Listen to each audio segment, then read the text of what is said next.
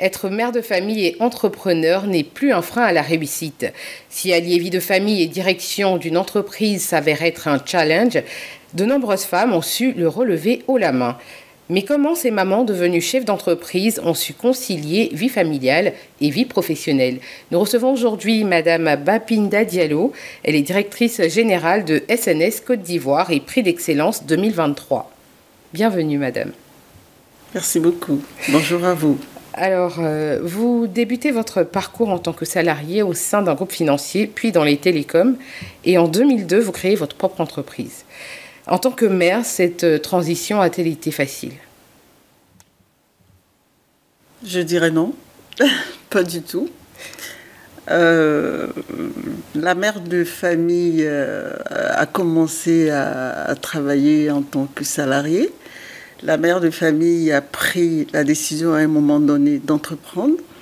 Et donc la mère de famille a été confrontée à beaucoup de choses, à beaucoup de situations déjà la charge de travail qui n'était pas du tout, on va dire, euh, facile. Ensuite, euh, la responsabilité euh, vis-à-vis de la famille et vis-à-vis des acteurs de l'entreprise qu'elle venait de créer. Et surtout les exigences de toutes ces, parties qui étaient en, face les unes des autres.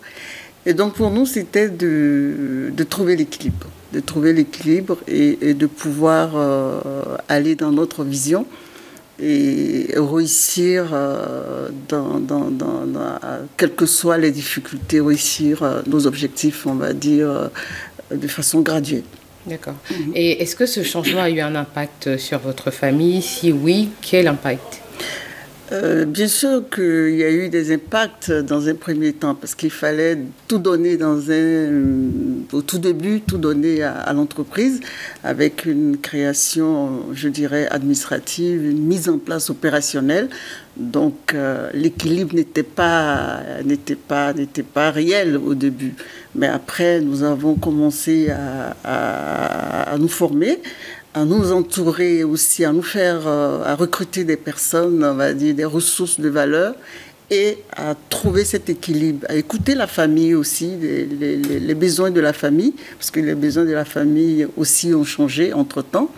Les enfants commençaient à grandir, euh, le couple avait d'autres réalités. Donc nous avons écouté les différentes parties et nous avons nous avons réorganisé les choses et euh, nous avons trouvé des, solutions qui nous ont permis, on va dire, d'avancer de façon efficiente. Alors aujourd'hui, vous êtes une femme d'affaires accomplie, on va dire ça comme ça. Et euh, alors, comment vous voyez le rôle de la femme dans le monde des affaires? Le rôle de la femme a beaucoup évolué dans le, dans le monde des affaires. De plus en plus, nous avons beaucoup de femmes euh, entrepreneuses. Nous avons aussi beaucoup de femmes qui sont euh, des, sur des postes de leadership euh, dans, le monde, on va dire, des affaires. Et, tous ces éléments nous prouvent aujourd'hui que les femmes sont dans une nouvelle dynamique sont dans une nouvelle dynamique. Et ce qui serait intéressant, ce serait euh, de consolider tout ça au travers de la formation, au travers de l'éducation, au travers de l'autonomisation des femmes, qui reste essentielle pour la réussite des femmes dans le monde des affaires. Alors, vous avez été euh, salarié, vous avez ensuite décidé d'être entrepreneur. Qu'est-ce qui a motivé ce choix? Euh, je suis une femme avec euh, euh, des rêves, je dirais. Je suis comme toute personne, j'ai des rêves. Et j'ai réussi à un moment donné à transformer ces rêves en vision.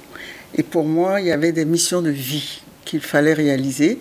Et l'une des choses sur, on va dire, laquelle je n'étais pas du tout en train de négocier, c'était d'entreprendre entreprendre, trouver euh, l'élément réel qui pourrait faire l'objet de mon entrepreneuriat à moi.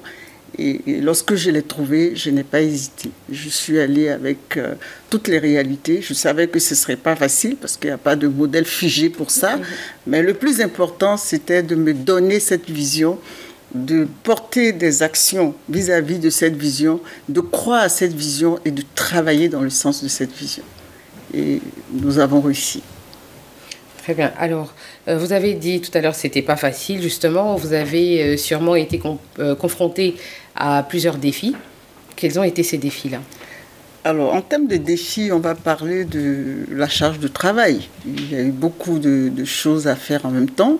Le stress, on était confronté à beaucoup, beaucoup de sollicitations, beaucoup d'exigences, beaucoup de, euh, niveaux euh, de satisfaction assez, euh, on va dire, assez difficiles à proposer, autant de la famille que de la partie professionnelle.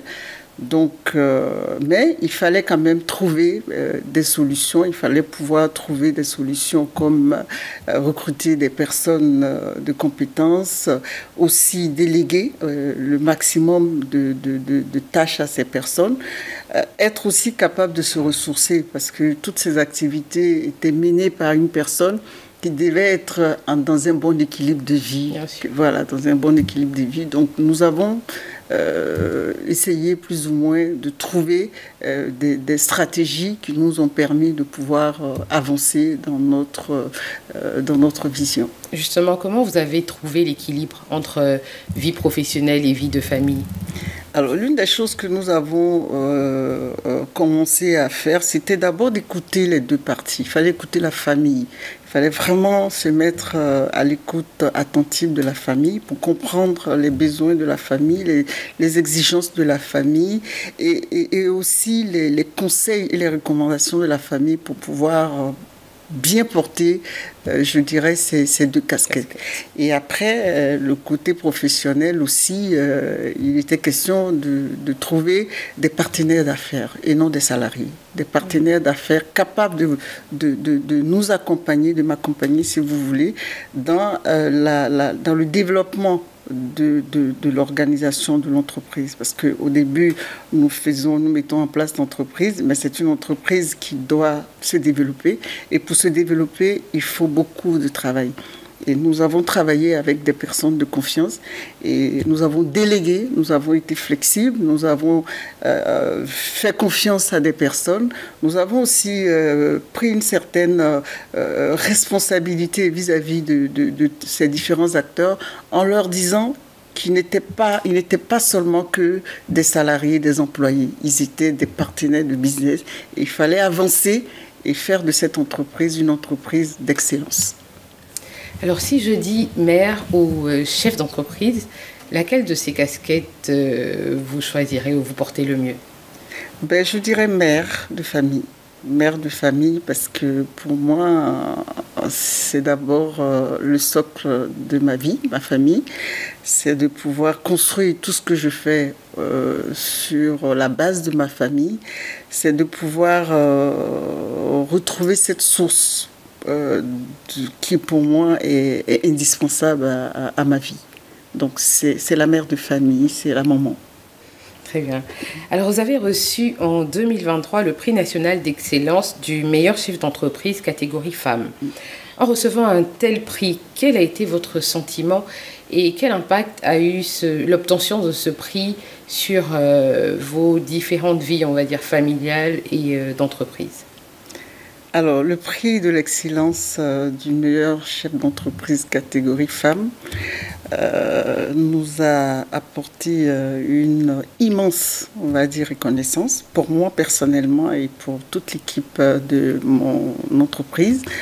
Ensuite, ce prix nous a rempli de fierté ça nous a aussi, euh, euh, ça confirmé euh, notre détermination pour pouvoir continuer à exceller dans notre domaine d'activité. Et si on, devait regarder aussi les impacts de ce prix, on dirait que ce prix a, permis à, à, SNS, enfin notre entreprise, une visibilité qui est aujourd'hui assez, assez forte. Et nous avons eu beaucoup d'opportunités, beaucoup de partenariats, euh, ce qui fait qu'aujourd'hui, euh, nous, parlons d'excellence au sein de notre organisation. Nous parlons d'excellence tous les jours. Nous travaillons dans une euh, dynamique d'excellence de façon quotidienne. Alors aujourd'hui, à votre stade, si vous deviez donner des conseils à des jeunes femmes, à des jeunes mamans qui aimeraient comme vous entreprendre, devenir des chefs d'entreprise, euh, qu'est-ce que vous leur diriez? Aux femmes, je dirais, il faut se valoriser. Il faut sortir euh, de tout euh, ce que nous avons entendu dans le passé, euh, qui n'ont pas permis à ce que la femme, de façon générale, hein, soit au, devant de la scène dans le monde des affaires. Nous avons des aptitudes de leadership innées pour les femmes. Et il est question aujourd'hui de juste accompagner ces aptitudes de formation, d'éducation et d'une certaine autonomie, euh, de, on va dire, sur le plan financier, etc. Et si tous ces éléments sont réunis, la femme est capable de d'aller au, devant de la scène du monde des affaires. Elle est capable d'apporter, euh, on va dire, un peu, même, un peu plus que l'homme sur le plan du monde, euh, on va dire, des affaires. Elle est capable. Donc il faut oser, il faut oser, il faut se donner les moyens, et il faut rester résiliente aussi. Alors euh, notre entretien tire à sa fin. Euh, si vous deviez, vous aujourd'hui, juger euh, vous-même, on va dire, votre vie de famille, la conciliation entre votre vie de famille et votre vie professionnelle, quel serait votre jugement? Alors, je dirais que l'équilibre a été atteint à un certain moment. C'est vrai que c'était c'était pas évident au départ, mais euh, on était quand même euh, attentionné, on va dire, sur cet équilibre. On a réussi à l'avoir euh, après quelques après quelques années, et après il était question de consolider cet équilibre et pouvoir continuer à pérenniser, je dirais, le développement de l'organisation qui a fait l'objet de conception. Donc, euh, pour moi... Vous avez réussi, c'est possible. Oui, oui, c'est possible. C'est possible. Ce n'est pas impossible, c'est possible. Il faut simplement se donner les bons moyens. Et l'un des moyens que j'ai l'habitude de dire à, mes soeurs, à mes, amis, à mes connaissances, c'est vraiment de se donner un plan conducteur. Il faut se donner un plan qui tienne compte non seulement des, responsabilités de la vie professionnelle, mais aussi des responsabilités de la vie familiale. Merci beaucoup, Madame Diallo, d'avoir euh, répondu à ces questions et d'avoir partagé votre expérience. Euh, nous retenons que c'est possible de concilier vie de famille et vie d'entreprise, donc être maman et être chef d'entreprise, c'est possible. Comme euh, Madame Diallo l'a dit, il faut être résilient et il faut se donner un plan conducteur de vie. Merci de nous avoir suivis. L'information continue sur cette info et sur www.cetinfo.ci.